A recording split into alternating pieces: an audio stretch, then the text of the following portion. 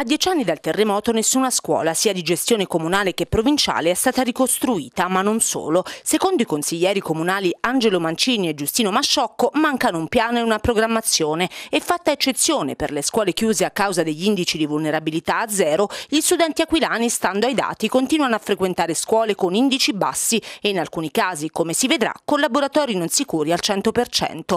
Mancini ha ricordato come nel piano straordinario per le scuole del sindaco Pierluigi Biondi come misura urgente si prevedesse addirittura di effettuare una ricognizione degli spazi pubblici per capire dove collocare gli studenti in attesa di fare le verifiche di vulnerabilità su edifici comunali. Masciocco e Mancini hanno analizzato la situazione scuola per scuola, partendo da quelle comunali hanno evidenziato lo stato delle verifiche affidate per il primo e per il secondo lotto, cose messe in piedi, hanno ricordato, dall'ex amministrazione.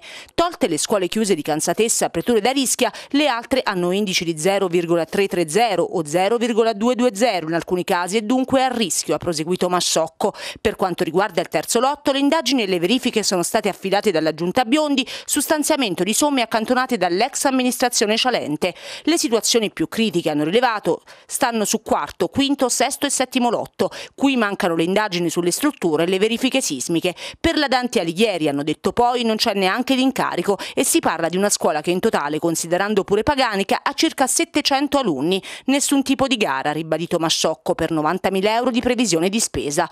L'unico dato certo, secondo i due, riguarda la Maria Leventre che si sta ricostruendo e poi chiaramente la scuola di Arischia, la cui consegna dei lavori è avvenuta solo da alcuni giorni. In altri casi si è ancora nella fase delle indagini sui terreni e delle relazioni geologiche. Gli alunni sono nelle stesse scuole dove stavano prima della campagna elettorale del 2017, hanno rilanciato, non c'è neanche un piano per riportare le scuole in centro e questa è essenziale, almeno una per ogni ordine e grado propongono.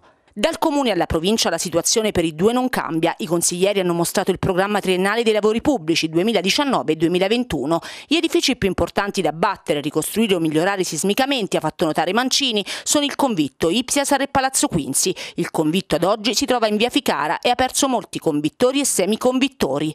Una struttura che per Mancini va riportata in centro. Per quel che riguarda l'Ipsia Sarradoggi, l'uscita su via Aldomoro è bloccata. Gli alunni entrano dal parcheggio. All'interno dell'edificio c'è un corpo da demolire. Nel programma, si legge, sono previsti lavori per demolizione e adeguamento dei laboratori per 7 milioni di euro, ma nel 2021, per cui secondo i due, gli studenti attualmente usano laboratori non sicuri. Altro caso quello dell'ITAS, dove si vorrebbe fare un parcheggio. Nelle quattro scuole strategiche, hanno detto, si prevedono finanziamenti al terzo anno anno, in alcune non terremotate invece i soldi del CIPE ci sono per il primo anno.